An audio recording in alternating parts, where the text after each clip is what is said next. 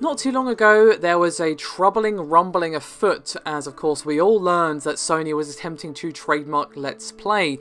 Many, including myself, were deeply concerned. Some perhaps proposed that this was for a marketing scheme, and it's possible that's one of the things they wanted it for, but the trademark itself revealed that Sony wanted the mark for its quote electronic transmission and streaming of video games via global and local computer networks, which definitely leads to the more, shall we say, widely accepted definition of Let's Play. Now, when I first did my video on it, and I will link my old video in the description below, the US Patent and Trademark Office refused the claim because they found Let's Play too similar to Let's Play with a Z, which is held by a Georgia company engaged in online gaming business. And thank you to McArthur Law Firm their claim has pretty much been shut down, although they do still have time to reply. It's not looking hopeful for Sony, and thank God.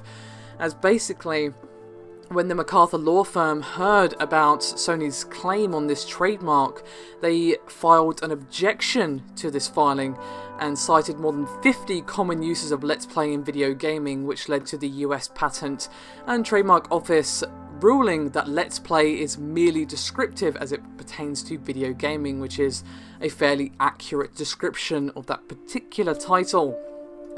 Now, as I said, Sony does still have until July, sorry, June 29th to provide some compelling argument against the two findings, that's the Let's Play with a Z and the merely descriptive finding, but McArthur Law is confident that the merely descriptive finding by the USPTO makes it highly unlikely Sony could prevail.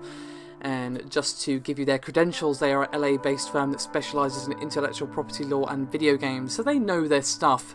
And that once they heard about this, they decided, hey, no, you can't do that. This has been around for a long time. It is just a description of we're going to play a game with commentary, and sometimes not even with commentary. It could mean a lot of different things depending on the streamer or the commentator or whatever you want to call them. So it seems like, hopefully, this is the last of it. I doubt that Sony are going to be able to come back from this because they have zero claim to this, literally none. They can't even claim that they helped create the term because it has been around for a long time. So here's hoping this is no, this is no more Sony. Stop with the silliness, okay? I don't know what you have planned, but it, stop it. Alright? Thank you very much for watching. I'll see you next time.